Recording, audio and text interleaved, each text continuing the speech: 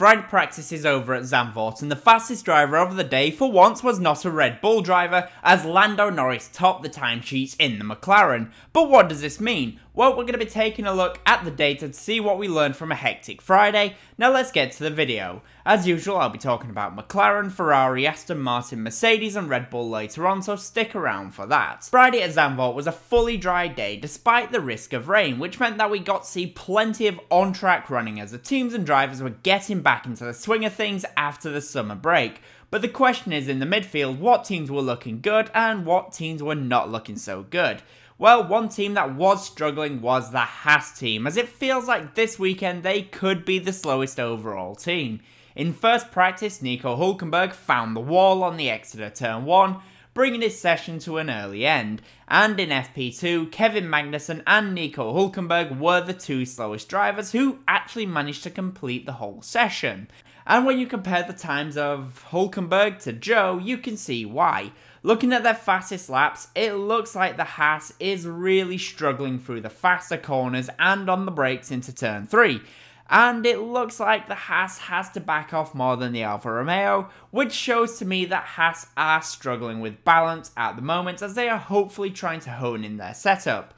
It is not only one lap where the Haas car is struggling as well, as their longer race pace does seem like it has some issues, and to show that, I have brought up the long run race pace of Hulkenberg in the Haas, Zhou in the Alfa Romeo, Ocon in the Alpine, and Albon in the Williams, and what can we see?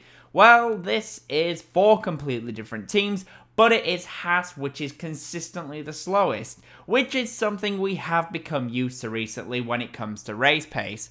It is only Friday, but I feel like the signs are not positive for Haas this weekend, and I fear they may struggle based on their current form, and they will be hoping and praying for rain on both Saturday and on Sunday if they are to have any chance of scoring points. One team in the midfield though that had a positive day was the AlphaTauri team, at least for Yuki Tsunoda, as the AlphaTauri is slowly but surely finding their way moving forward through the field, Although it does look like for his teammate Daniel Ricciardo, things are not looking so good because after his incident, he was seen struggling with his hand, and it has now been confirmed that Daniel Ricciardo will be replaced by Liam Lawson for the rest of the weekend, as Ricciardo has sadly broken his wrist. But Tsunoda, like I said, did look strong, and when you compare the lap time of Tsunoda to Bottas, who also had a good day, you can just see where the AlphaTauri was stronger. Tsunoda was able to be later on the brakes and carry more speed into a lot of corners.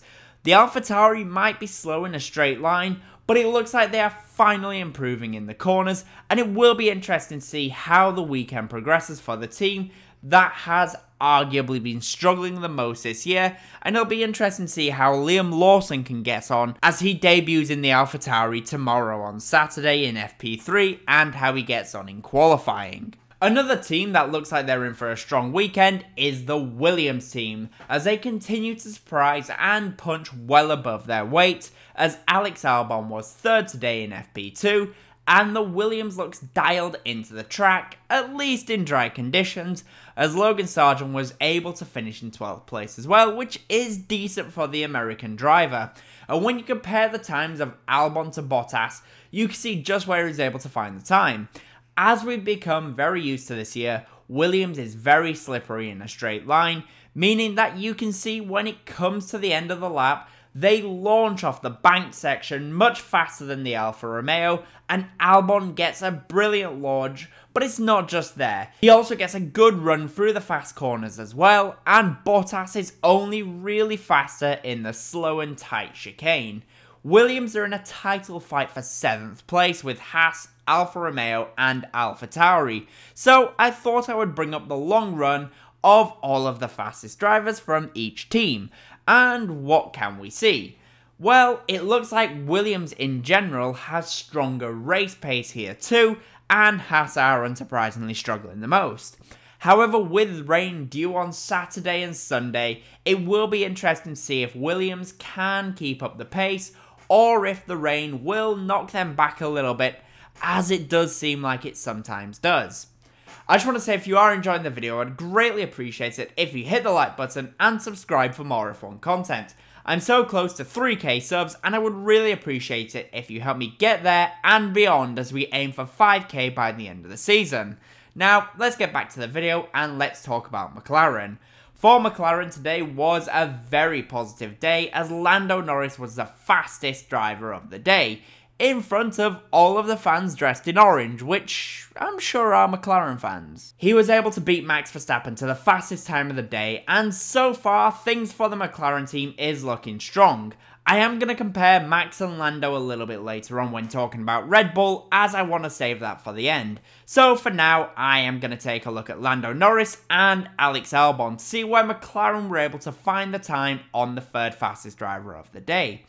As we have become used to in the previous few races, McLaren have become one of the overall strongest teams when it comes to downforce, and because of this, Lando is able to carry more speed through a lot of the braking zones than the Williams, and in general, they look just like they have a much better balance.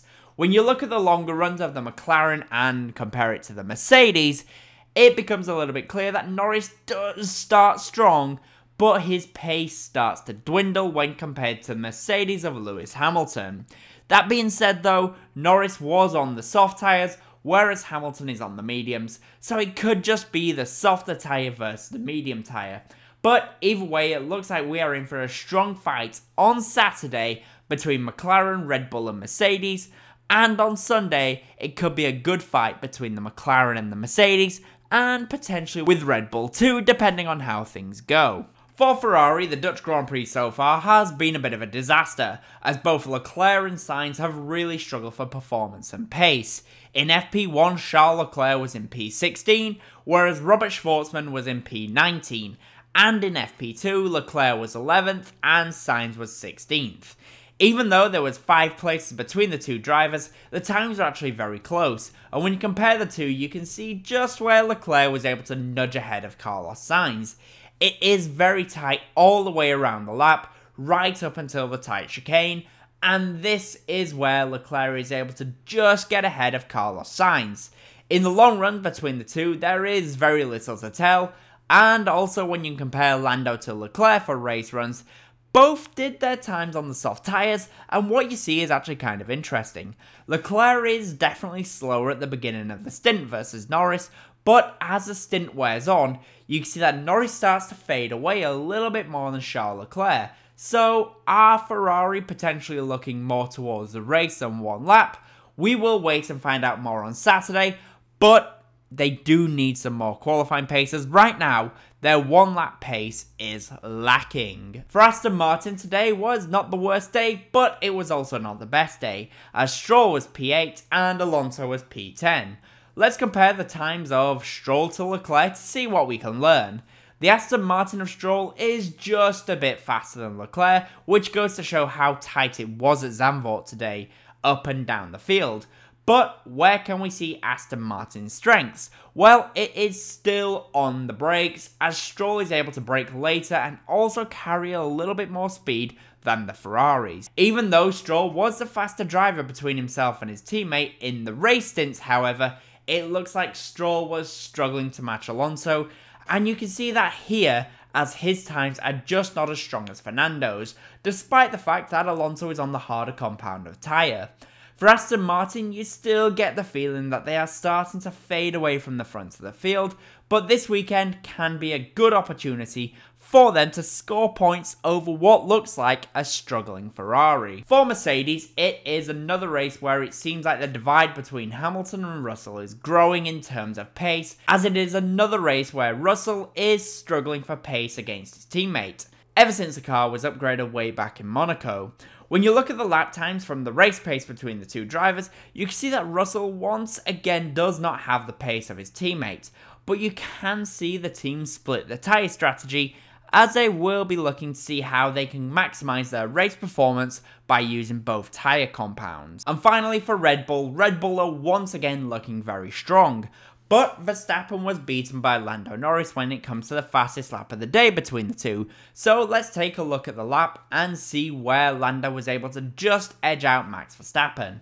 Lando is strong on the exit of turn 3 and on the run up the hill, as McLaren gets a good exit from the corner, which is something that we can see on the exit of pretty much all of the corners.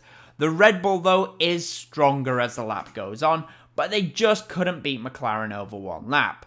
However, when it comes to race runs, as usual, which you can see here, Red Bull has the edge over the competition.